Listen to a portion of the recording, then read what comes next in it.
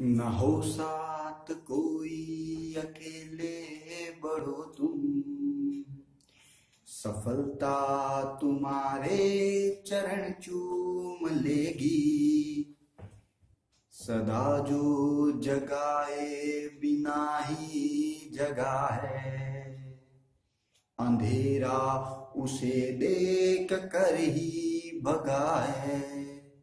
वह घूणा पनपा पनपना जिसे था। गुणा क्या किसी के उगाए उगाए। नमस्कार साथियों। योग्यता कभी किसी चीज़ की मोहताज नहीं होती है। अगर कहा जाता है कि पानी और टैलेंट दो ऐसी चीज़ है जिसको कोई भी रोकना चाहे, परंतु वो रुकती नहीं। अगर आप में टैलेंट है तो वो बाहर आके रहेगा। तब तक वो आपको चैन से बैठने ही नहीं देगा। तो चाहे आप कितनी बार भी असफल हो जाओ, आप हिम्मत नहीं हारोगे। आप वापस उठ खड़े होगे। जब तक आप नहीं करोगे, तब तक आप चैन से बैठोगे नहीं। यदि आपके भीतर वो है तो उसे बाहर आना पड़ेगा। उसको मूर्त रूप लेना पड़ेगा, आपके टैलेंट को। ठीक है दोस्तों, हमेशा याद रखना, हिम्मत मर्द, मदद खुदा। इंसान भगवान भी केवल उसी की सहायता करता है, जो खुद अपनी सहायता करता है। अपने आप की सहायता करो। पूरी दुनिया यदि आपके ऊपर विश्वास नहीं करे, कोई दिक्कत नहीं आप अपने आप पर विश्वास करो। आप अपना दामन, अपना हाथ कभी मत छोड़ना। ठीक है दोस्तों?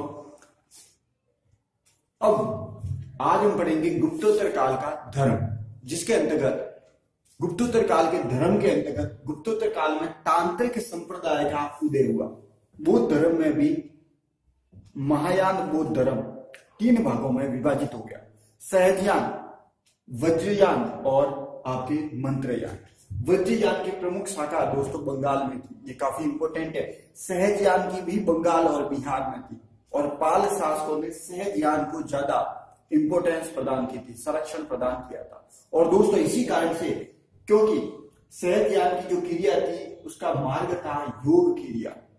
ठीक है दोस्तों? हैंसान ने बुद्ध के जन्म स्थान कपिल वस्तु, श्रावस्ती और बुद्ध के जन्म मृत्यु स्थल कुशीनगर, इन तीनों को वो उसने उजड़ा हुआ पाया था, जब वह इंसान इनकी यात्रा पर आता। शेर धर्म, शक्ति पूजा इस समय काफ़ी बढ़ चुकी थी, सूर्य पूजा इस समय प्रचलित थी। दोस्तों गुप्तोत्तर काल में तांत्रिक धर्म के उभेदय होने के कारण बौद्ध और शिव धर्म, इन दोनों में कुछ भी अंतर नहीं रह गया था। शिव धर्म में भी, दोस्तों कापालिक कालामुख नाथ और आपके कोल मार्ग जैसे तंत्र संप्रदाय विकसित हुए थे। कापालिक कालामुख नाथ और कोल जैसे संप्रदाय शिव धर्म में थे। वही बुद्ध में भी, दोस्तों, मंत्रयान, वज्रयान और सहयान सहजयान नामक तांत्रिक धर्म अब का अभ्युदय हो चुका था। वज्रयान के अंतर्गत, बुद्ध की पत्नी तारा की पूजा की जाती थी, बंगाल के अंतर्गत। ये काफ़ी इंपॉर्टेंट है दोस्तों, कई बार क्वेश्चन आ चुका। बुद्ध की पत्नी तारा की पूजा की जाती थी वज्रयान के अंतर्गत। हिंसा में सभी को उजड़ा हुआ पाया था गुप्तोत्तर काल में। शक्ति पूजा, दोस्तों, शक्ति पूजा उस समय काफ़ी बढ़ चुकी थी। मध्य प्रदेश और उड़ीसा, इन दोनों में चौसठ योगिनियों का मंदिर फ़ेमस था।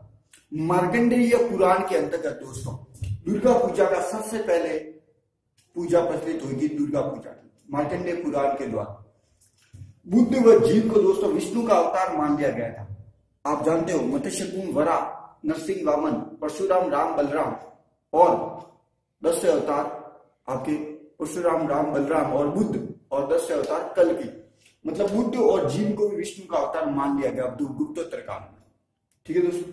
प्रतिहार नरेश, मिहिर भोज। आप जानते हो प्रतिहार नरेश, जो मिहिर भोज था, ये यहाँ पर रहने वाले। ठीक है? प्रतिहार नरेश। मीर भोज ने दोस्तों आदि वरा की उपाधि धारण की थी। ये वेरी इंपॉर्टेंट है। आदि वरा की उपाधि भी धारण की थी और दोस्तों, आदि वरा के नाम से सिक्के भी उन्होंने चलाए थे।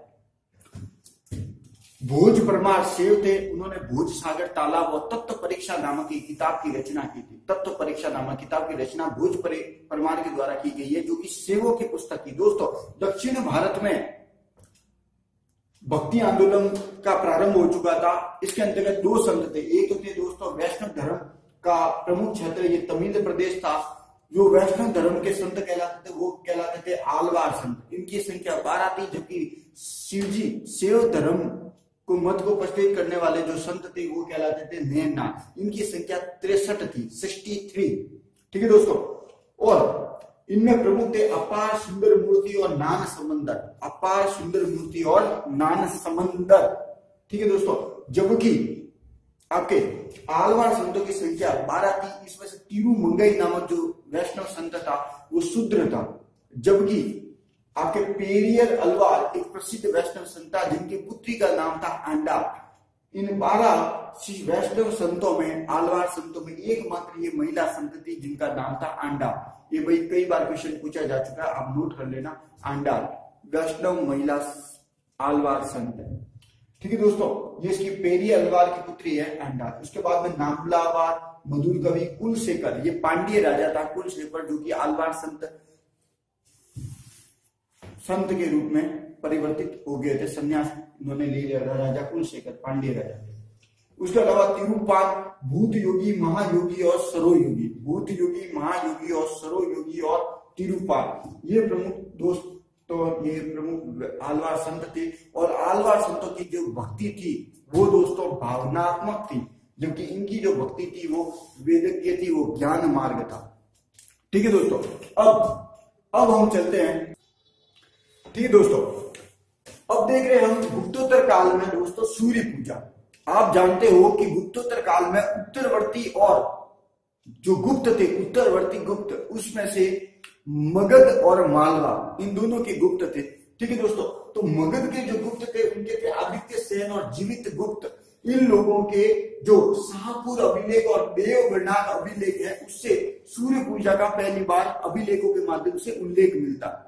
कौन सा है दोस्तों? शाह पूर्व और देव बंडा का लेख। और आप जानते हो कि अपसट का लेख और देव बंडा का लेख उत्तरवर्ती गुप्तों के बारे में जानकारी प्रदान करता है। ठीक है दोस्तों? अब आप जानते हैं कि पुष्यभूति जो वंश था थानेश्वर का, वो भी, उसके भी जो आरंभिक शासक थे, वो सूर्य पूजा का कार्य करते थे। इसके अलावा, दोस्तों, ये पूरा एक मैप है। सूर्य पूजा का प्रमुख केंद्र था दोस्तों, मुल्तान। मुल्तान और इसके बारे में दोस्तों जानकारी देते हैं कि मुल्तान में सूर्य पूजा का बहुत बड़ा केंद्र था। ठीक है, पूरा भारत का केंद्र बिंदु था मुल्तान और इसके बारे में जानकारी देते हैं दोस्तों आपके हैंसा उसके बाद में अल मसूदी, उसके बाद में अबू जईद और अल बरूनी। ठीक है, अबू जईद अल मसूदी और अल बरूनी और हैंसा ये चार इसके बारे में जानकारी देते कि मुल्तान है जो पूरे भारत का सूर्य पूजा का केंद्र था। गुप्तोत्तर काल में कश्मीर का शासक था ललित्यादित्य मुक्ता पिंड। ठीक है, इसने भी मातंड मंदिर का निर्माण कश्मीर में किया था। ये काफ़ी इंपोर्टेंट है दोस्तों। उसके अलावा मोडेरा का सूर्य मंदिर, मंदसौर का सूर्य मंदिर और माडा सयाद यूपी में आया हुआ माडा सयाद। मोडेरा मंदसौर और माडा सयाद। मोडेरा मंदसौर और माडा सयाद। ये सूर्य पूजा के प्रमुख केंद्र बिंदु थे। इधर हम देख चुके हैं, मुल्तान हो गया, इधर हम देख चुके हैं कि कश्मीर में मुक्त, ललिता मुक्ताबिन ने आपके मातंड मंदिर का निर्माण किया उसके बाद आपके मोडेरा मंसूर और माडा सयाद ये तीन केंद्र उसके अलावा दोस्तों, पाल शासक, आपके बंगाल के जो शासक थे, सैन्य शासक सॉरी बंगाल के सैन्य शासक, ठीक है, इन सैन्य शासक में विश्व रूप सेन और केशव सैन, ठीक है, विश्व रूप सेन और केशव सैन, इन लोगों ने, ठीक है जो अभिलेख है, उनसे भी हमें पता चलता है कि सूर्य पूजा का उल्लेख मिलता है। बंगाल के ये जो सैन्य शासक थे, वे परम सूर्य की उपाधि धारण करते थे। वेरी इंपोर्टेंट है दोस्तों, ये ध्यान रख लेना ये क्वेश्चन आ सकता है। ठीक है, परम सूर्य की उपाधि कौन धारण करते थे? तो बंगाल के सैन्य शासक, गुप्तोत्तर काल में। ठीक है दोस्तों, अब अब हम देखते हैं गुप्तोत्तर काल में जैन धर्म।